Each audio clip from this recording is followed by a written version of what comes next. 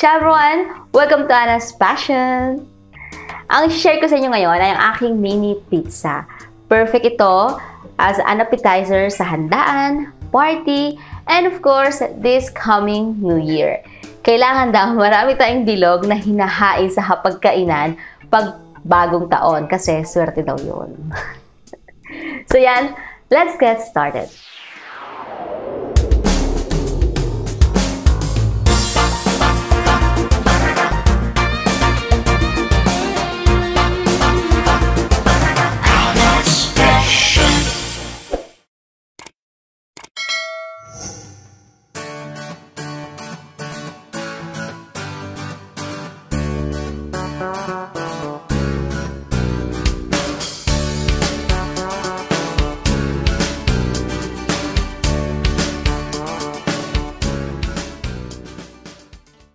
Ang una natin gagawin, ilalagay ang half ng flour dito sa ating mixing bowl.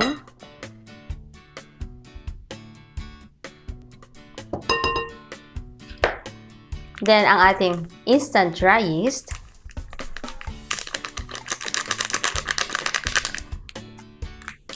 And 1 teaspoon ng sugar. Then, give it a quick mix.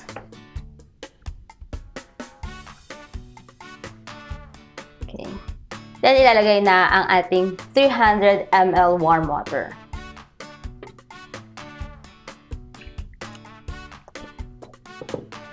Then, mix until completely incorporated.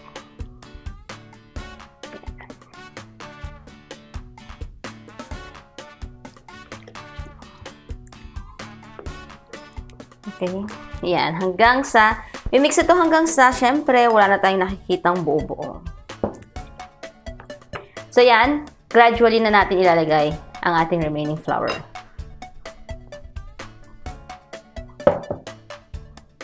Yan ang ating oil.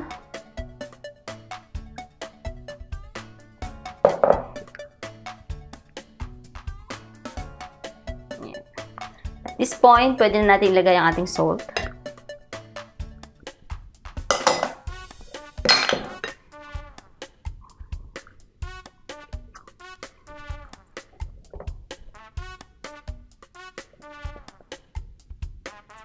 Mag-iiwan tayo ng onting flour para i-sprinkle dito sa ating work surface later.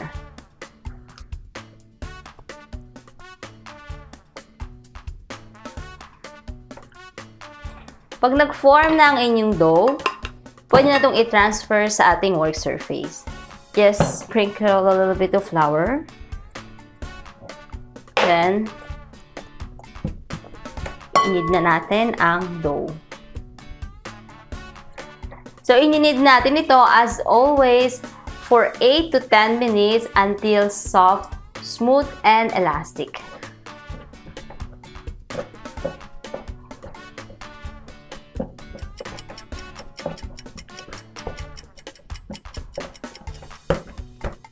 Wow! So, let's do gluten or window pane test. Kung gaano ka-elastic ang ating dough. Look, So, transfer natin ito sa ating bowl na nalagyan ng onting oil.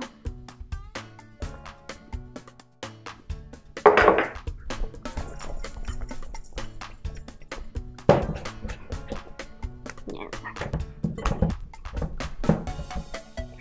And let it rest for 30 minutes. Ilalagay ko to sa oven na nakabukas yung ilaw para ma-reach na yung right temperature dahil malamig ngayon dito sa Italy.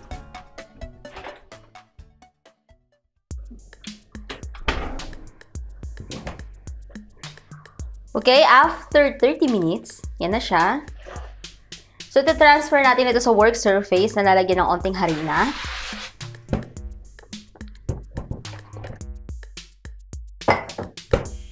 So, ipipress natin ito, then form it into a log.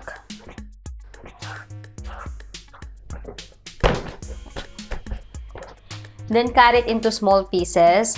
Each piece ay 80 grams. So, this time, susukatin natin siya.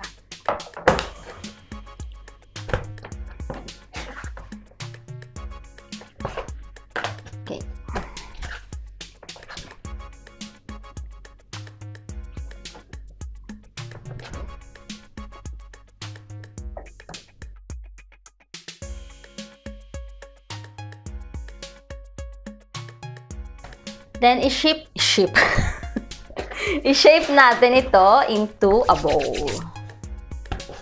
Pakikinisin lang natin ang surface nito. Then, shape natin ng ganyan. Or, like this.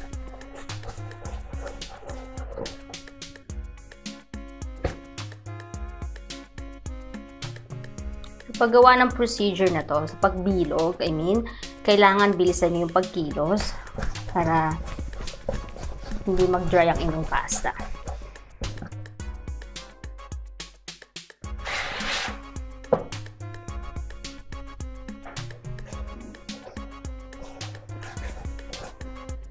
And, iti-transfer ko ito sa container. Kung wala kayong ganito, pwede nyo i-transfer sa baking pan na lalagyan nyo ng plastic wrap or kitchen towel. Maglalagay tayo ng harina sa pagnalagyan para hindi didikit. Well, space siya para pag lumobo, hindi ito magdidikit-dikit.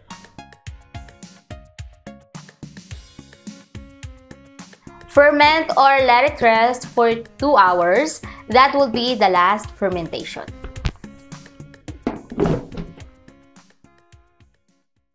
Yan, we are ready to flatten our dough.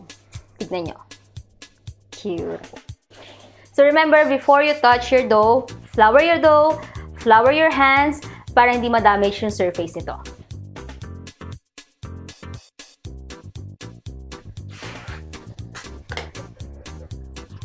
Sa pag-stretch nito, ipipress lang natin itong middle. Press yung air papuntang edge. Ganyan. Actually guys, mas mabilis itong stretch compare dun sa malaking pizza. So if struggle kayong mag-stretch ng big pizza, especially sa kids, may mga maliliit na kamay, ito na lang ipagawa ninyo. Or ito na lang gawin ninyo. Yan.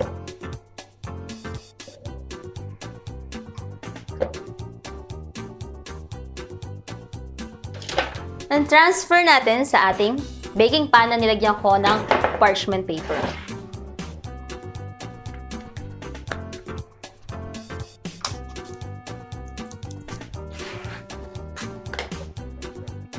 So, repeat lang natin yung procedure hanggang sa matapos. Press. Sa middle. Make a beautiful um, border or edge. Okay.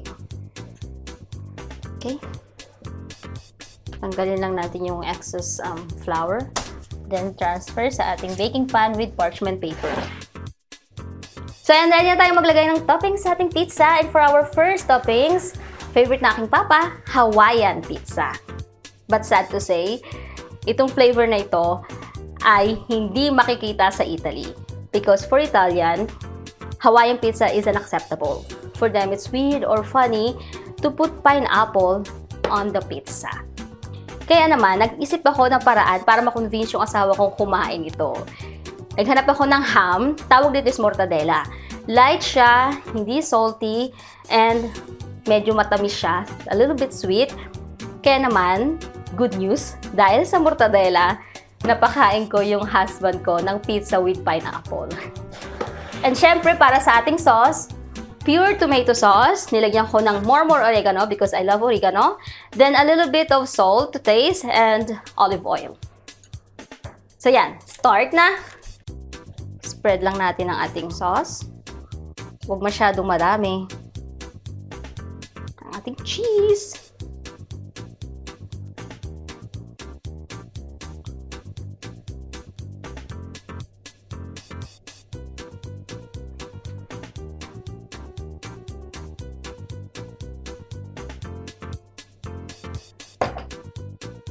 So, for our second flavor, Euster, German word, pinaarting hotdog.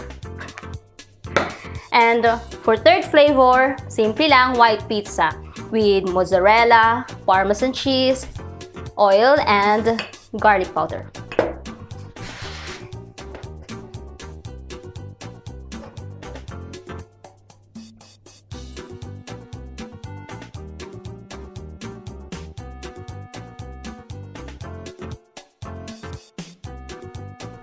So, stir.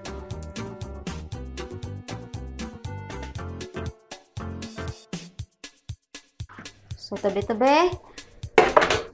And then, dito sa dalawa na natitira, gagawa tayo ng white pizza. Magbabrush lang tayo ng oil dito sa ibabaw.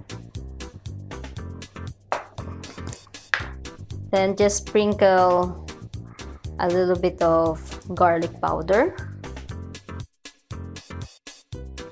Then, mozzarella, ay mozzarella, parmesan.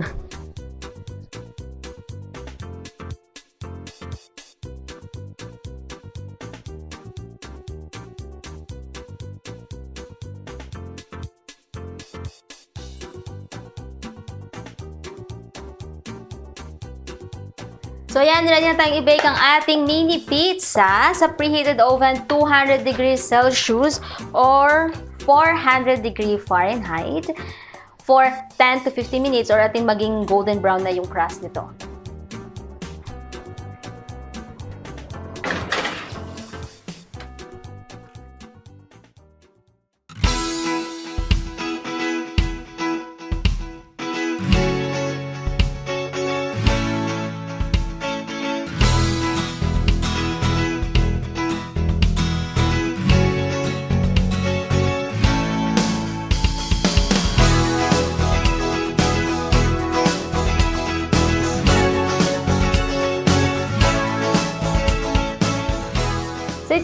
Guys, ang ating mini pizzas.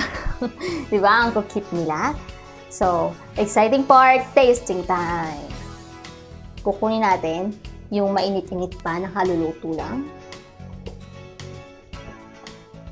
So, tasting time. Mm.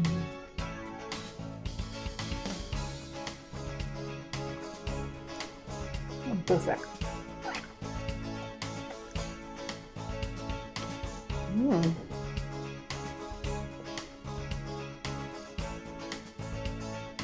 So that's it for today. I hope you guys enjoy this video. At kung nag-enjoy kayo, please subscribe to my channel, give this video a big thumbs up, and please paring na rin yung bell para updated kayo sa lahat ng aking new videos.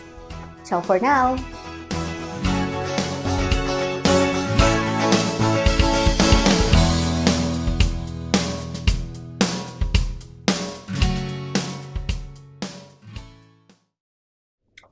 For Italian it's forbidden to make these crazy things. But actually, I have to admit, try. Delicioso. Merry Christmas, Merry guys! Christmas and Happy New Year! Happy New Year! Enjoy your holiday. Ciao! Ciao!